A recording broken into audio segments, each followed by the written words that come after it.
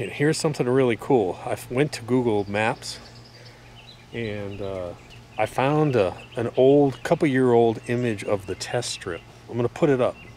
So this test strip across the street from us was just, no one took care of it, just empty mud and weeds. It used to be grass. So we took it over and this is what we transformed it into. Now this has had PGF complete, human Humichar, and now has the growth regulator. Okay, so basically I think it'll be something like this. Look at that. Look at the difference. Before, after. Before, after. Crazy, isn't it?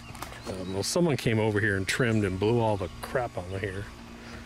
But, let me get some of this off. We can see it. Isn't it amazing?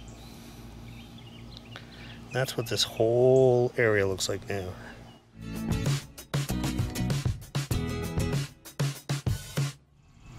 Wow, it's hot out here. It's about 95 degrees.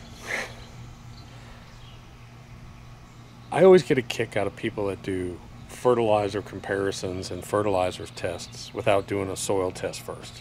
We're going to be talking about soil tests today. And why is that? Well, mistake number one they make is they put out fertilizers when they're doing their tests at different strengths. You should always neutralize your test with the same strength, same amount of nutrients. That's number one. Number two, if you don't have a soil test, let me give you an example. If my lawn is low in phosphorus and I use these three fertilizers, the middle number being phosphorus, which fertilizer is probably going to perform better? It's kind of easy to tell. So that's why it's real important for you guys to get a soil test at some point. I really encourage it. It's really simple, especially I always use now, I use Clemson just because it's one sheet, simple to fill out. You send it off. I'll put a link in the description below to it. Um, in about a week or two, usually about 10 days to two weeks, you get an email and there's your reports. but I also like it because they give you the CECs, Cation exchange capabilities. Um, and that's important too, and especially now that we're using Humichar, where we're trying to bump those up. So let me show you my soil test bags. After I collect my soil samples, which I'll show you in a second, um, I come out and I lay them down in the sun. And they've been out here for a couple hours burning up and uh, they're going to be ready to go. I think I'll have, I don't know when this video is going to go up, but I'll have a link. Everyone keeps asking about the new granular lawn regulator. The 13th or the 14th of this month, I'll have the link up. We got to wait for the factory to have a full production run. That is just the most amazing, amazing. My front has never looked like this. Now this is Humichar PGF and now growth regulator on top. And this is a scorching hot 95 degrees just pounding down on this. That is just absolutely gorgeous.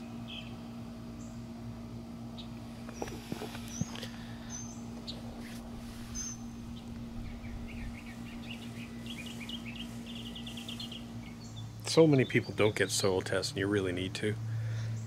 So uh, I'll put links to anything I'm talking about in the description below.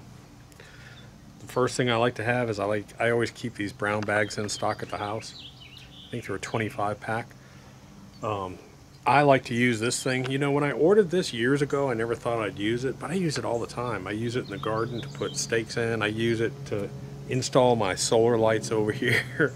I use this thing for everything, not just soil testing. Uh, we're sending off our soil garden, this new garden soil we're testing, the Humichar Super Compost. We're going to send that off to Clemson for testing. So while I'm doing that, I'm going to go ahead and take some samples down at the green because I think I've got a pH problem down there. I think all the sand and all the rooting mix that we've been putting down there may, may be off on pH. I don't know because that seed, while it's germinating, it's just something's just going on with it. It's not really growing strong like I should see because we put a lot of seed down, we put a lot of top dressing. It may just be pre-emergent.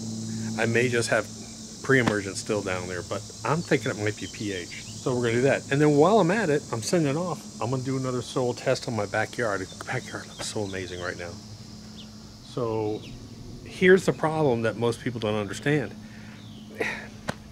Every once in a while, someone will say, Doc, 99% of the people put down PGF complete and they have love the results. Once in a blue moon, we get someone says, I'm just not getting the same results. And I'm like, Did you do a soil test? No. So I guarantee you're low on phosphorus. So let me take you down here. One thing we are going to have this year, hopefully out this fall, we're going to have um, a new fertilizer out for you guys. It really, I really designed it for the spring, for the quick start program, but it can also be used in the fall too. Um, it's a quick release fertilizer, unlike most slow release fertilizers. It'll help you do corrections. It'll be really cool. So, it's such a lovely golf course. it's such a lovely golf course. Oh, humichar. and that's a good looking golf flag there, Doc. That's a really good looking golf flag. This is obviously going to be green, green one. GR1 for green one. BK1 will be backyard one, you know, all different crap like that.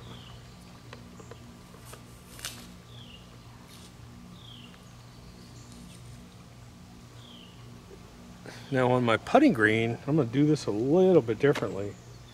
I really only care, I'm trying to figure out what's causing that, what's going on with the, uh, the new seeds. So I only want really the top inch of soil, which is going to be kind of hard to do. So what I'm doing now is I'm just going through here and I'm taking out organic matter. Because unlike my other tests where I want that, I want the two, I want the one and a half to three inch mark, I want the one top one inch of soil in here to see what's going on with this germination.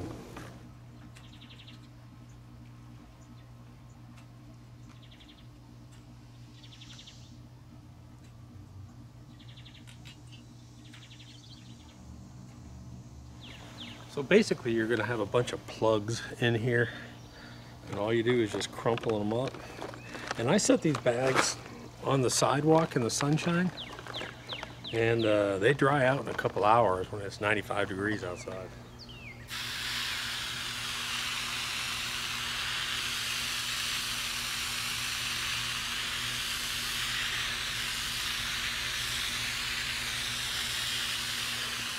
Let me show you how simple this is to do. Now, I know everyone doesn't have all this at home, but I have a printer and I have actual labels, peel and stick labels at home. Um, I just went and found a small box. So let me just walk through this real quick. So what I did was I have my bags and I put my, I put it, just you make up your own code. BK1, that's back one.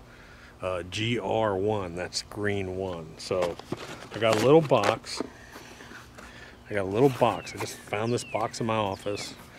And uh, you, my recommendation is, is keep the box as small as possible because what I'm going to do is I'm going to print a label, I'm to put it on the box, I'm to include my check, and I'm to stick it in my mailbox with a flag up. So I don't have to go anywhere. I just do this from home.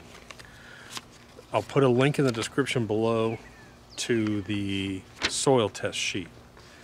If you uh, open it up with Internet Explorer or the new, what do they call the new Internet Explorer? Microsoft Edge or whatever it is. Um, you can actually go in there and you can type right into it. You don't even have to write on it. So you can see, like I put all my codes in. I don't know if you can see, I put all my codes in here. So I got CF1, CF2, I got all these different codes. I checked the standard and it's $6 each. So for a total for a total of $36. I make out a check. Um, I include the check in there and I go to my label print, print my label off, I put it on my box and I put it in my mailbox and I'm done. So uh, it's pretty easy for me. I can do a soil test in an hour. I can have a soil test ready to go, put it in my mailbox. The mail lady will pick it up and it's off. And again, about 10 days, 10 to 14 days, usually I'll have my results back this really is an eye opener, folks. It really is an eye opener. I can't tell you how important this is. Um, you, you just you can't do anything unless you know, and that's one of the things, especially like this green. I was gonna start playing with it, and I was like, dude, you know better than this. Do a soil test and see if there's any issues first, then go back and work with it. So, anyways, guys, That's how you do a soil test. It's real simple. The Bermuda Lawn Guide. If you know the Bermuda Lawn Guide, get it. If you're not using Humichar, use Humichar and PGF Complete.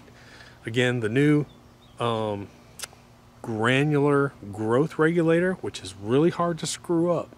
and it's so let me let me explain the new growth regulator why I like this. I've held off on doing growth regulators for a certain reason. You can damage your lawn and you can apply them wrong. Number 1. Number 2, they're kind of a pain in the butt to apply. You got to make sure you're mixing it right. You got to calculate your spreaders, and if you're going to walk around with a hand sprayer, it's just it, they're they're kind of a pain, and I've so I've sort of left off on them. This new granular is so easy to put out. It's just like putting out some fertilizer. And I have tried, I have tried, folks. I have tried to damage lawns with this, and I can't do it. And that's why I'm recommending this product. The link will be up June 13th, uh, July 13th, July 14th, whatever. Hit subscribe. When that video, as soon as they tell me it's in stock, I'll go ahead and put it up. And uh, that's about it. Talk to you later. Dot.